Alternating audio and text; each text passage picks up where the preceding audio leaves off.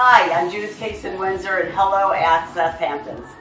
I was married to Edie Windsor, the indomitable Edie Windsor, who was the woman who struck down the Defense of Marriage Act in 2013.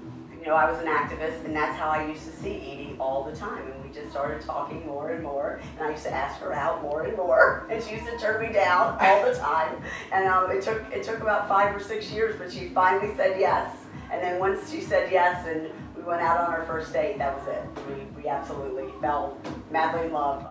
Um, we're really excited about the barbecue. When Southampton Hospital came to me and asked me, um, you know, they lost their lease on the David Rogers Center, which is the HIV AIDS Center at Southampton Hospital, and they lost their lease to a Pilates studio.